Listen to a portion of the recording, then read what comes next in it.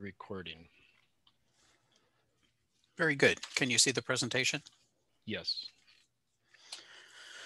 Okay, folks. Um, caveat here, I am not a video expert. I'm just going to share what I've learned over the last few years deploying cameras out on our AREDN ham radio network. Uh, I wish Daryl was here. He knows video front and back, but we'll go for it here. Of course, you have to turn this on. Oh, I know what's wrong. Stand by. So they're not advancing. Why not? There we go. Um, I've given a lot, a lot of presentations on networking with AREDN over the last few years, and I've used this photo the last few years. So you may have seen it um, if you attended one of my presentations. Um, but I'll go through the backstory again for those who haven't seen it. Um, here in Ventura County, California, about 40 miles northwest of downtown Los Angeles, um, through 2016 and 2017, as AREDN expanded the capabilities of the software, we were deploying uh, an AREDN network in Ventura County. Uh, we're fortunate to have a lot of hills and mountains, so uh, Backbone spanned those with access points covering the valleys. At one of the sites, uh, Sulphur Mountain, which is in central Ventura County, we had a node and a couple of access points. And just for the heck of it, we threw a Junker fixed focus camera up there. It was fun to watch. In um, September of 2017, Ben, AI6YR, who's a tech specialist in this section, dropped me a note with a link to an article on how to stream web cameras to YouTube. He said, why don't you see if you can figure this out? We may need it eventually. Well, I took a look at the article and it's, it's moderately complex, but I got to figure it out and I shared a, a, a YouTube, live YouTube of my driveway camera off of my home security system we thought that was pretty cool. And I filed it away for further reference. Uh, that was uh, late September 2017. And in 2018, December of 2018, like six weeks later, the um, Thomas fire broke out. And at the time, it was one of the largest fires in Southern California. Uh, ben pinged me because he keeps an eye on all of the um, service agencies, fire departments, and the like. Um, within 15 minutes, he pinged me and said, Hey, I got a fire going up near uh, Santa Paula. Can you th think you can stream that camera? Well, it was on a different site with a different OS, different camera model, um, but I did get it working.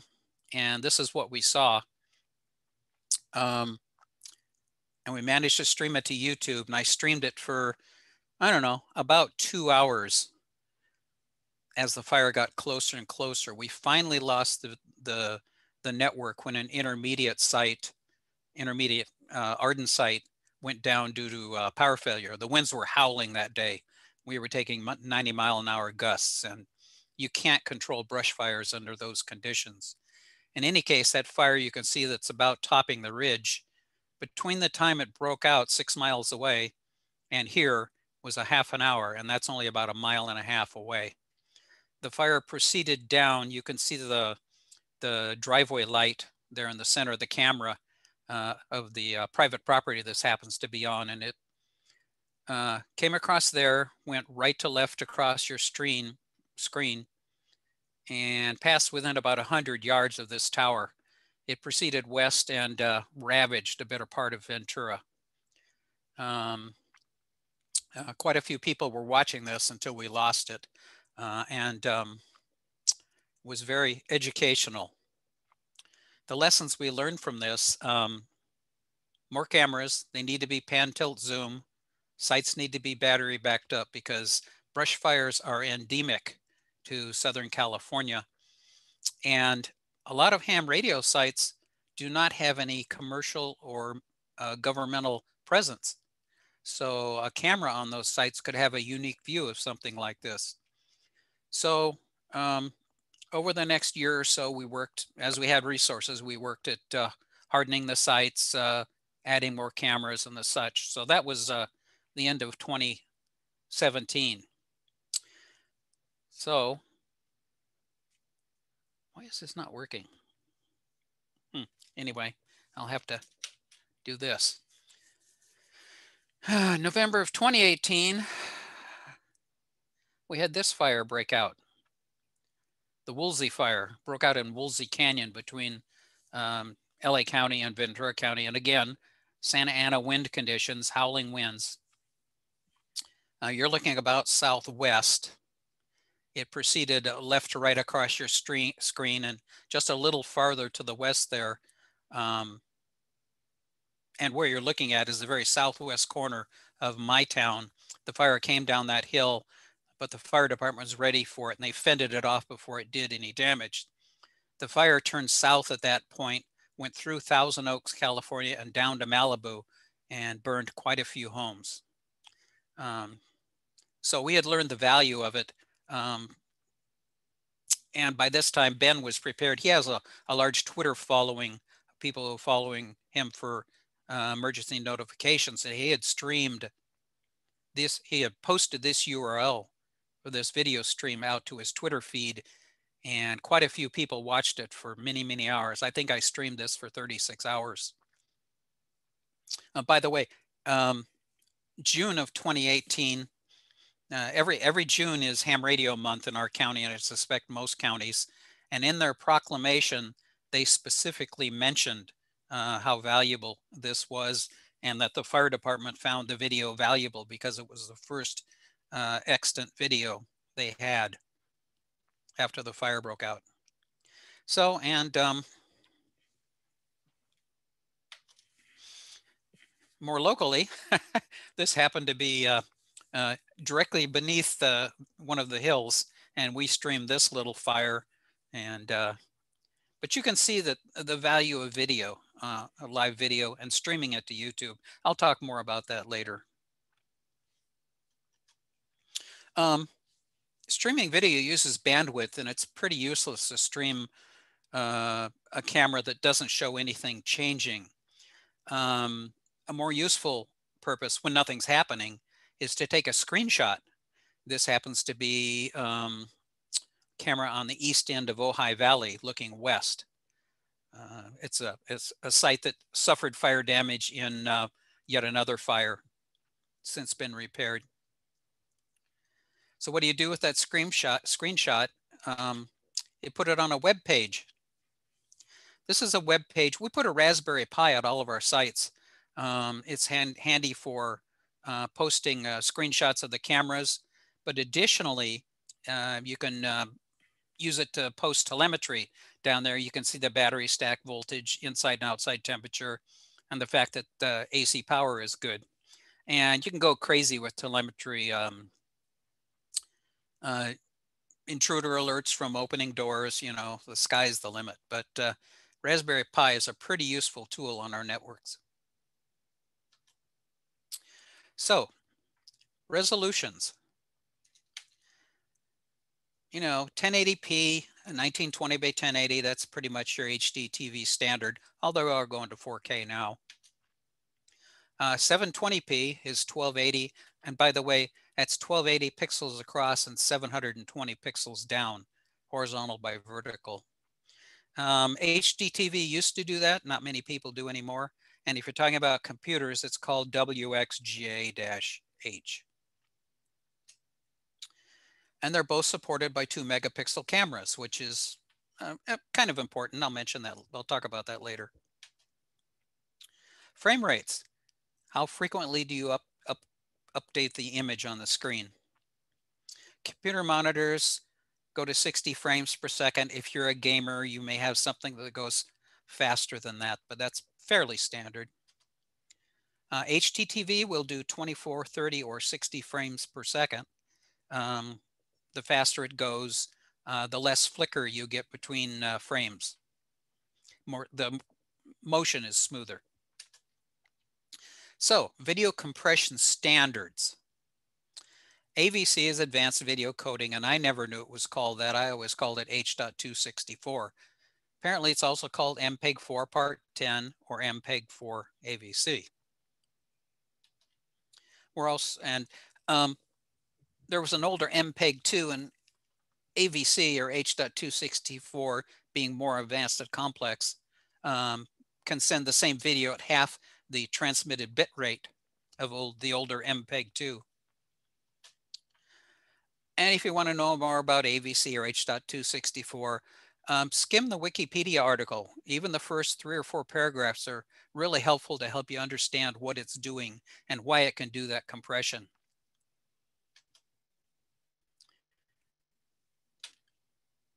And then you have high efficiency video coding. I never knew it was called that. I always called it H.265, otherwise known as MPEG H Part 2. This gets better data compression than, than uh, H.264. Um, the way they do their data compression is they only change, one of the ways they do it is they only transmit uh, pixels that have changed.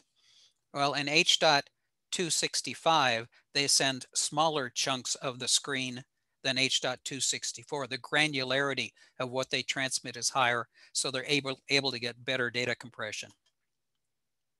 Alternatively, um, you can maintain the same bit rate and get better video. This all pretty much happens behind the screen, behind the scenes. And again, Wikipedia is a great article or just Google H.264 standard or H.265. So some considerations. Um,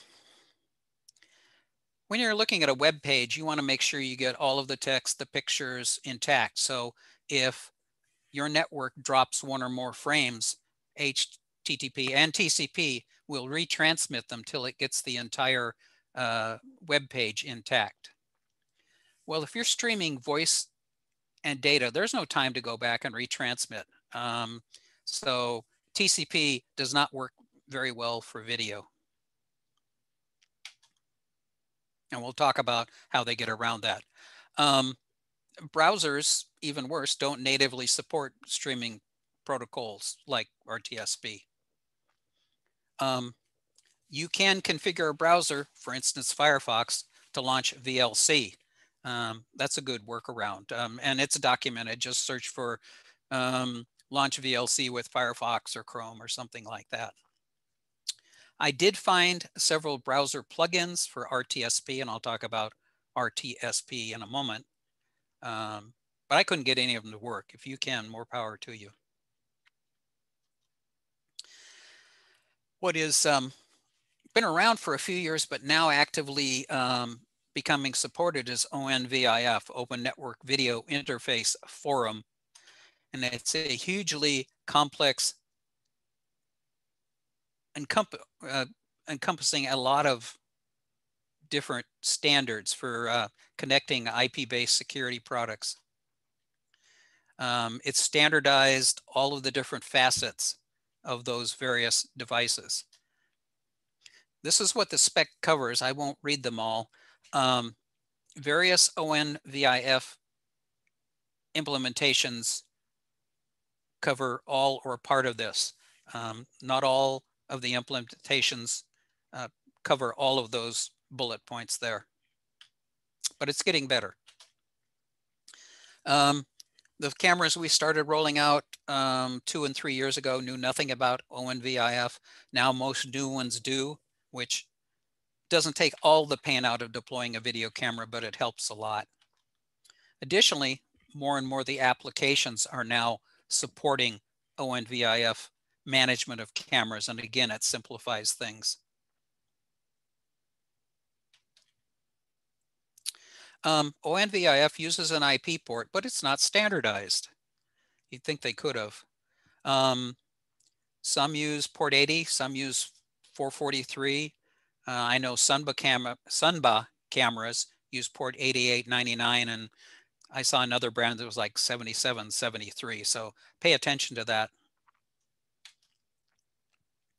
Um, ONVIF manages a lot of protocols and RTSP and RTAP, which we care about, are also managed by ONVIF. RTSP real-time streaming protocol just manages the streaming media server. It tells it when to start, when to stop, etc. That media server is actually RTP, real-time transport protocol. We don't concern ourselves with it because RTSP talks to it. And it's designed for end-to-end real-time transfer of streaming media. And by the way, um, it uses UDP, which means which is Universal Datagram Protocol. UDP streams packets towards the destination. It could care less if they get there intact or not, you know, and uh, doesn't expect an acknowledgement coming back. Something I learned, if you're making a VoIP phone call or using a, a VoIP chat or something, um, it uses RTP as the transmission uh, protocol. Uh, SIP if you're making a, a VoIP phone call, SIP is Session Initiation Protocol. It's used to set up and tear down phone calls. So ONVIF tells RTSP what to do, which tells RTP what to do, layer upon layer upon layer. So um, we have limited bandwidth on our networks. You have to manage it carefully and you can uh, bring a, a network to its knees with an improperly configured camera. Um, the actual occupied bandwidth of a video stream varies depending on the amount of motion in each frame. Um, if you're looking at a, a door that's not opening, there's like nothing being transmitted. Additionally, the resolution of the frame, the video stream will impact how much it has to transmit and also the frame rate. So some examples, your plain vanilla HD 1080p, 1920 by 1080 by 30 frames per second with H.264 at high quality, about 7.6 megabits per second. And I can verify that because when we uh, we did some testing a couple years ago and our end-to-end -end bandwidth across the county is right around seven megabits per second. And We tried, tried streaming an HD channel across there, and we ended up getting about 80% of the signal. Um, it's not on this, but we went down to a standard definition, plain old vanilla TV, and that worked fine. By the way, I don't have to mention that retransmitting broadcast video is illegal. This was for a test. So a 720p video image, 1280 by 720, brought down to 15 frames per second, you get 0.7 megabits per second, which is potentially very manageable on our network. And if you go down to 640 by 480 by 10 frames per second, which is 0.3 megapixels, you get 0.1 megabits per second. Piece of cake. Should be if your uh, uh, if your network is uh, at least halfway up to snuff. So I'll talk a little bit about this. Um, this is a screenshot, screenshot of a uh, TeamTalk net we had a number of months ago. Um, I recommend TeamTalk. It's very versatile. You can do video chats, voice chats, text chats, share desktops, or upload files. Um, all of these shots here, uh, the, the video you transmit from the client is configurable um, because on the receiving end, you display all of these headshots. There's no point in transmitting higher resolution video and using bandwidth because remember, every one of these gets transmitted up to the TeamTalk server and every one of them has to be transmitted back to each TeamTalk client that's actively logged into the server. So this is a good way to stress your network, uh, test it. Um, most of these are configured as 320 by 240, um, a few 640 by 480, and maybe 10 frames per second. Uh, we use this, actually do use this periodically for stressing the network. You can tell when things aren't working well. Um, one of the images will flash red or um, the ham's name will flash red on the left-hand side more accurately. Um, that's indicative of, of dropped packets. And more often than not, um, it's the, the user's access to the network, his uplink so to speak. Um, what do I want to say about this? Um, this TeamTalk server is run on a Raspberry Pi 3 and with all seven uh, video streams running, I think the Raspberry Pi CPU utilization is about 10% and its ethernet utilization was about 10%. Um, very important for the server to be on a high quality network link. We have it actually sitting up on the mountaintop, sitting right on the backbone, and it works very well that way. A couple more things about this. Um, not really useful to have all those talking heads up there. It's fun once in a while.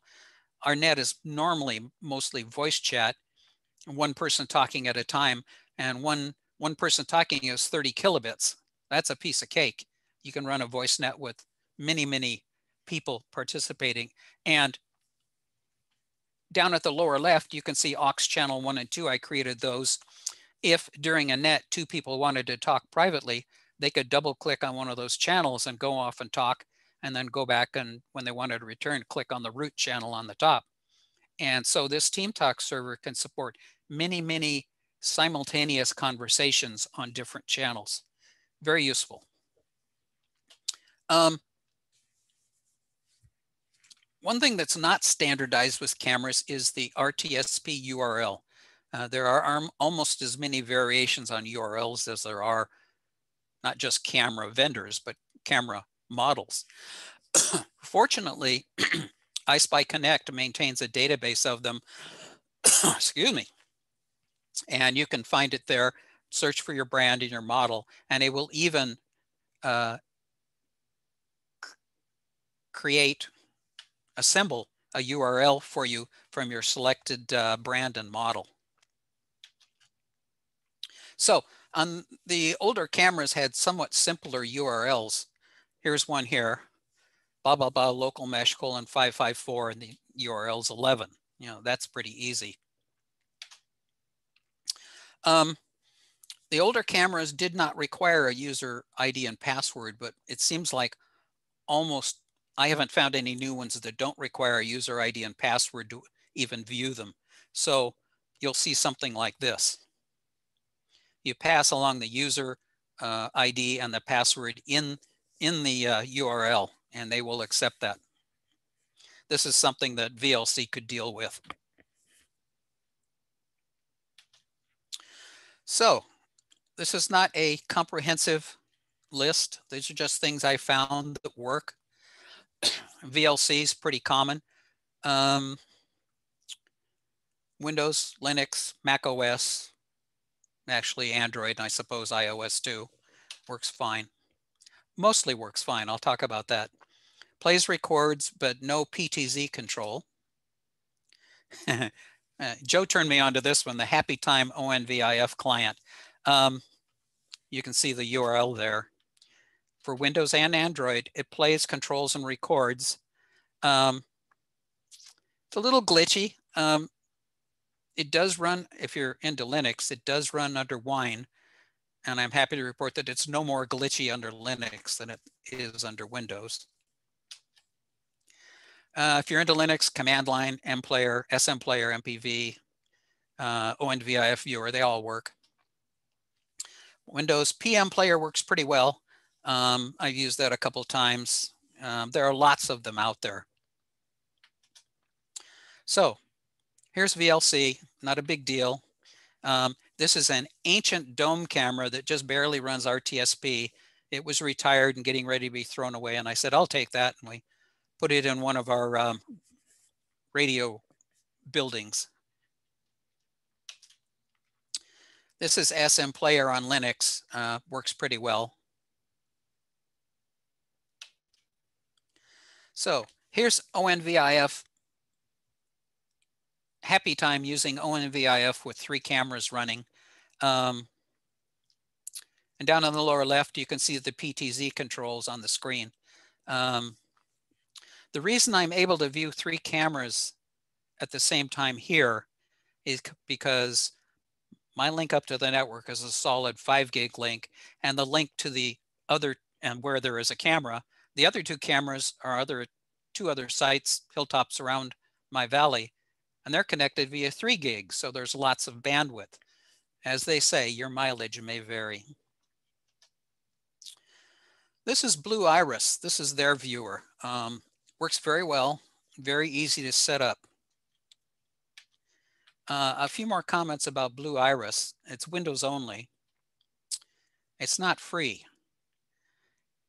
That one camera will cost you $34.95. The second camera will cost you another 30 bucks and anything after that is free up to 64 cameras. And what's worse, it's a license per PC. You can't pass it around. So uh, I wouldn't think uh, hams using an ARD network could find this one real useful. So network video recorders, they generally run as web services, which means they're available over the network, which is a good thing. And again, this is not a comprehensive survey. These are ones I found, managed to set up and uh, can comment on. MotionEye and uh, MotionEye OS. iSpy Connect makes an agent, which is an NVR, and Shinobi. Things you have to worry about network video recorders. They record video. So in order to do that, they have to stream the cameras constantly. And they need to do that if you're going to use motion detection and record. So you have to be concerned about bandwidth and CPU utilizations, especially if you're viewing multiple cameras. So the recommendation is you put the network video recorder on site with the camera, have it record there. Um, then you can view it as needed over the network. Um, pay attention to storage. Um, if you have a lot of motion on cameras that record at more than a couple frames per second and uh, more than a minimal resolution, you can run out of storage space quickly. And I um, speak from recent experience. So cameras, um, make sure the old, some of the old junker cameras were HTTP only. Um, make sure you buy a current camera. They're getting better and better, and I will comment on that. Uh, RTSP, uh, if they've got ONVIF, so much the better. And uh, it's getting a little harder to find two megapixel resolution cameras. Uh, lots of fours, lots of fives. Um, the problem with the five megapixel camera, um, you won't, you'll, you'll be configuring it for something much smaller than five megapixel uh, screen content, that's for sure. Uh, additionally, they tend to be larger physically, which is more weight for your mast and more wind, uh, wind resistance. So they tend to jiggle more. So smaller cameras are better for our purposes. So I've been playing with Motion MotionEye OS um, for various Linuxes. Um, MotionEye OS is um, a prepackaged app. It includes uh, a version of Linux plus the Motion uh, app plus the MotionEye uh, web front end. Um, it's a dedicated image. Um, doesn't matter how big of an SSD or micro SD card you put on, you wind up with 832 megs available for recordings. And that gets used up fast. Um, very easy installation and configuration. You burn it to the micro SD, plug it in, and it's all web uh, web configuration from then there on. Um, you can install Motion on Raspbian and then MotionEye over that, and that gets you away from some of the limitations in MotionEye OS. Um, it's a very bare bones OS. You can SSH into it, but a lot of things are missing. um, I got it working. Turns out there's a couple steps missing from the instructions. Um, but if you're good with Linux, you can figure it out from the logs. I won't go into it here. Um, the good thing about this is um, you can put it on a larger external drive and record more locally if you need to. Um, I expect that I will NFS mount my uh, house file server on it and save video over there. That's on my TBD list. Um, they claim a Raspberry 4 Raspberry Pi 4 with three cameras will record 800 by 600 by four frames per second. When you're watching the UI on the Raspberry Pi 4, CPU utilization is about 50% and the load average is about 2.3. If you're not bothering it and letting it run by itself, it's much better, 30% CPU and load around 1.2. Um, I saw a note, like AREDN, they really recommend the latest nightly build uh, over the production release. And um, I'm going to upgrade mine when I can because there are a number of things that I think would be useful. So it supports pretty much, they, they have images permitting in pretty much any small single board computer that's supported on Raspbian. And there's the whole list there. Um, some of these are more powerful than um, Raspberry Pis. they tend to use more power too, but it's nice to have uh, choices. So here's motionEyeOS um, running on the network. And again, I can get away with it because I'm only pulling two frames per second, but that's fine for a security camera. Um, I did not try PTZ with this because all of my security cameras are fixed focus. um, well, let me correct that. Three of the cameras here are um, PTZs, but um, nor in a normal security system, you probably wouldn't be using PTZs. I'll have to investigate that. So I liked it so much, I put it on my, uh, I set it up as my home security system.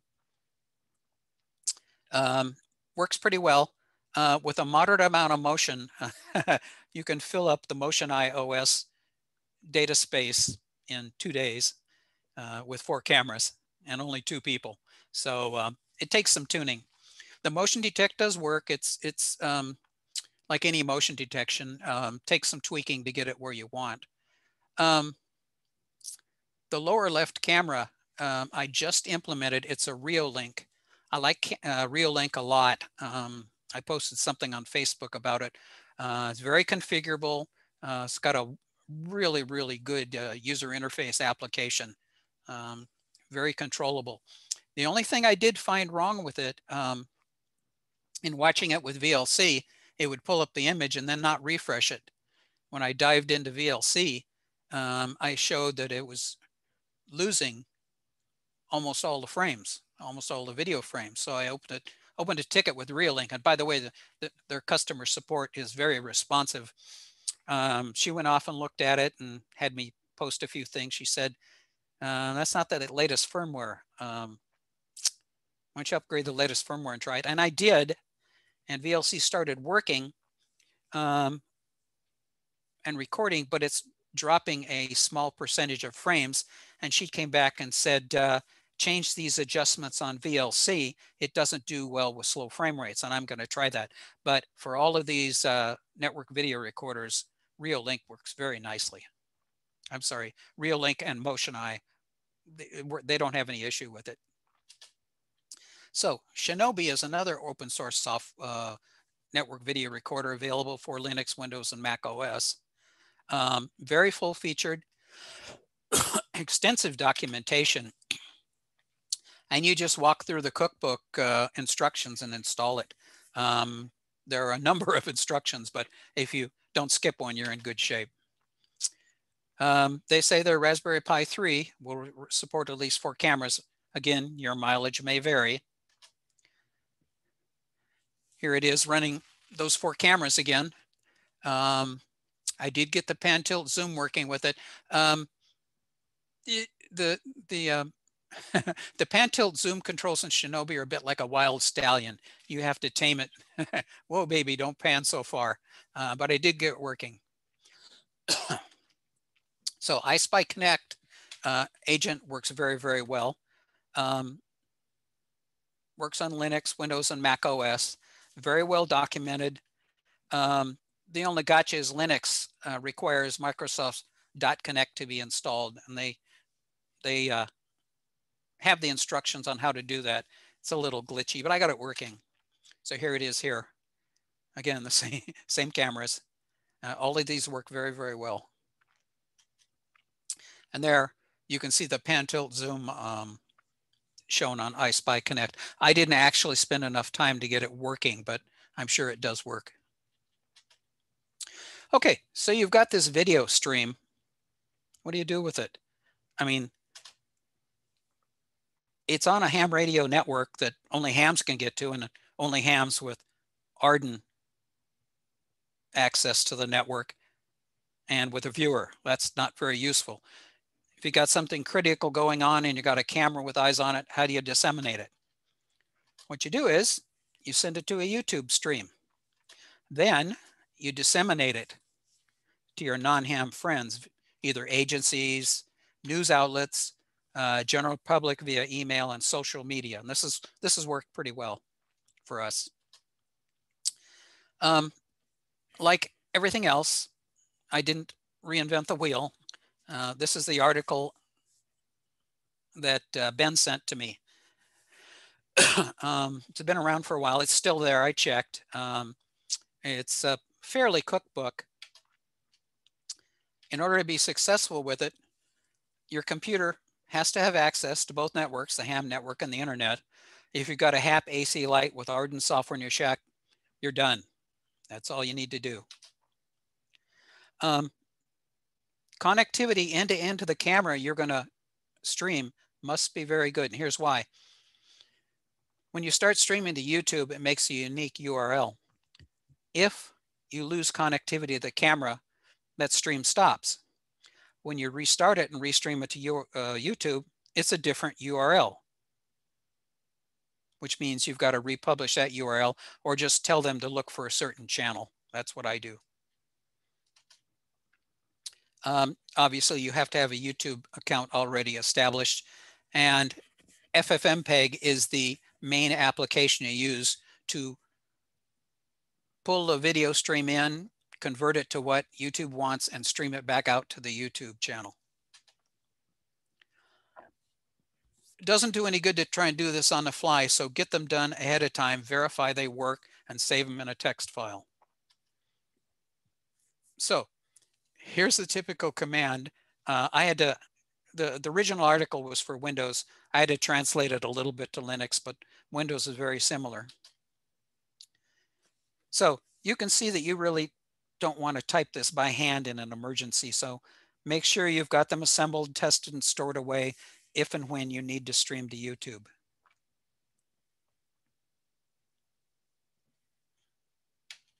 Oh, somebody wants a list of the cameras and PTZ we're using. Um, I'll address that as a question now. Um, we've standardized on Sunba. Um, we they're they're pretty good. Um, they're the probably the least expensive, decent quality PTZ camera we've found. Um, they make various uh, versions. We the low end, the two megapixel PTZ, does PoE and um, RTSP real real well.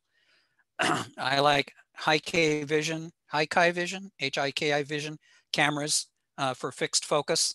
We used uh, two of those and recently um, started play, playing with the Reolinks. And if I have to put out any other fixed focus cameras, I would go with Reolink.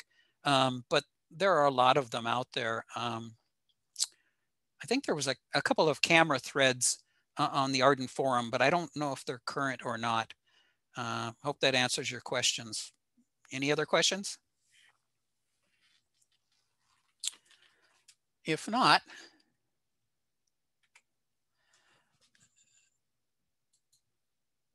I see, what time is it here? 1224? And stop recording.